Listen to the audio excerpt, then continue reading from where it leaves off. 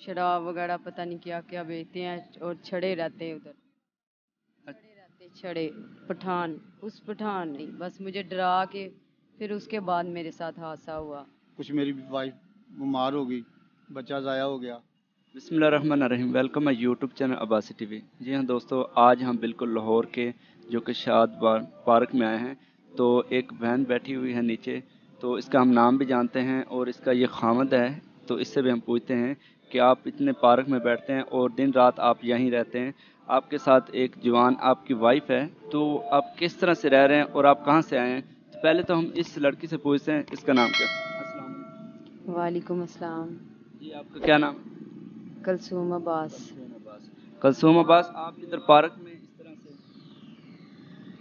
बस हमारा मकान किराए पे था वो छूट गया मैं बीमार हो गई। उसके बाद मकान छूट गया हमारा। इनका रोज़गार भी था वो भी हो गया। गार्ड का करते थे वो भी छूट गया इनका। दोनों उसके बाद से फिर मालकर ने हमें किराए की वजह से ही बाहर निकाल दिया।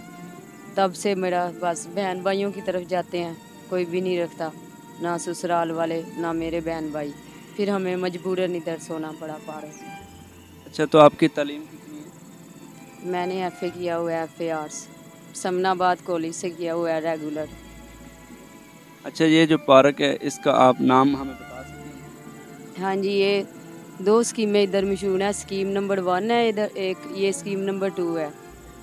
ये नवाशिफ हॉस्पिटल के नज़दीक है बिल्कुल। तो ये आपका मियाँ हस्बैंड है? हाँ जी मेरे खामन ये क्या करते हैं? ये जब मेरे साथ शादी हुई थी तब ये प्रॉपर्टी डीलर थे।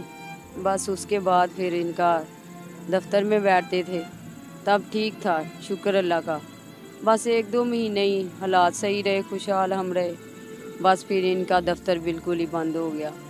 जो मालिक था उसने इनको फिर कह दिया मेरा दफ्तर तो खुद नहीं मेरा गुजारा हो रहा।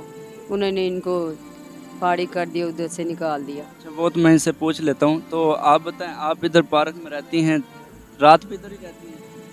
हाँ जी रात भी इधर रहते आपको पता है इधर इतने लोग आ रहे हैं जा रहे हैं। क्योंकि रात दस ग्यारह बजे भी लोग होते हैं तो ऐसी हरकतें कुछ करते हैं हाँ जी इधर दिन को रहते हैं इधर इस साइड पे फिर रात होती है तो हम ये रोड के दरमियान में है जगह वर्जिश बनी हुई है उधर ज़रा रौनक होती है उधर चले जाते रात को उधर सोते हैं।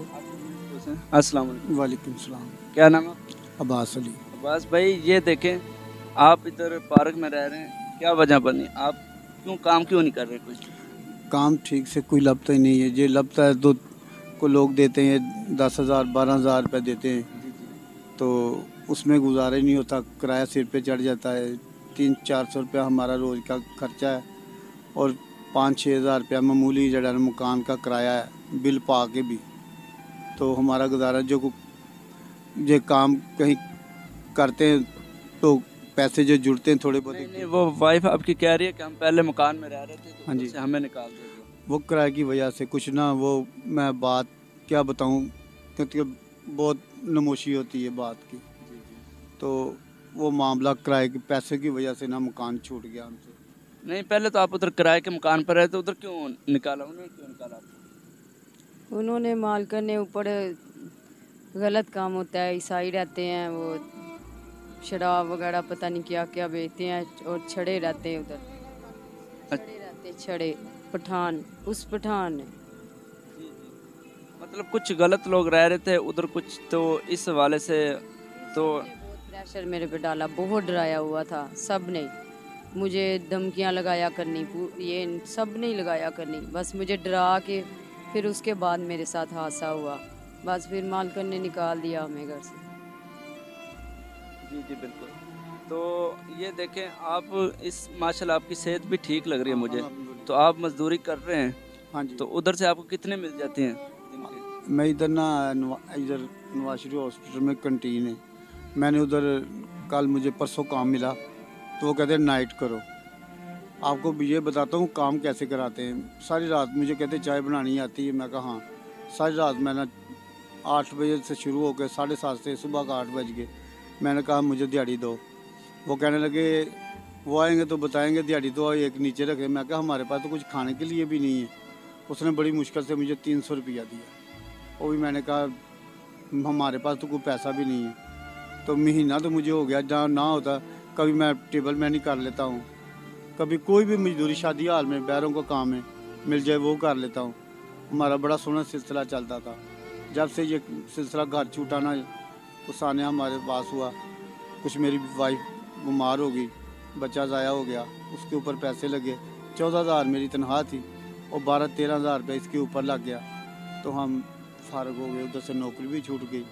हम बर्बाद हो गए, हम फुटपाथ और सड़कों पर रह गए बस। जी हाँ नाजन, इसी तरीके से हमें कल भी पता चला, ये देखा कि बाहर रोड पर बैठे हुए थे दोनों मियाँ बीवी। तो आज हम दोबारा गुजरे तो ये पार्क के अंदर बैठे हुए हैं दोनों। तीन से जब हमने पूछा तो ये कह रहे हैं कि हमें घर से निकाला गया। जहाँ हम किराए पर रह रहे थे, उधर से ऊपर मतलब कुछ ऐसे लफंगे लड़के थे, वो इस तरह से मतलब अपनी मन मर्जियाँ हमें कहते हैं, करो तो फिर इधर रहो, वरना हम आपको निकाल देते हैं। इसी वाले से इसको भी निकाल दिया गया और ये भी आ गए।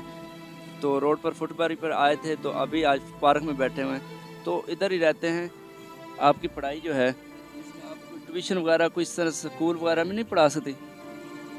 ट्यूशन पढ़ा सकती हूँ। स्कूल भी अगर स्कूल के लिए कम से कम वेल ड्रेस थोड़ा सा हो, आजकल ज़माना बहुत ज़्यादा है। पहले सादगी थी। जी जी, बिल्कुल।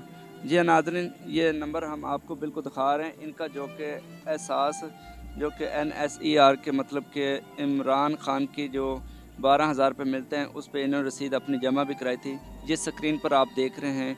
इनका नंबर ज़ीरो तीन सौ नौ यही है नंबर? ज़ीरो तीन सौ नौ चौदह डबल ज़ीरो। एक सौ दस। ये नंबर है सामने स्क्रीन पर भी आ रहे हैं। तो ये देखें, अभी तक इस रसीद का हम क्या करें? अभी तक इनको कुछ भी नहीं मिला। बस लिख के चले गए कह रहे हैं मिल जाएगा।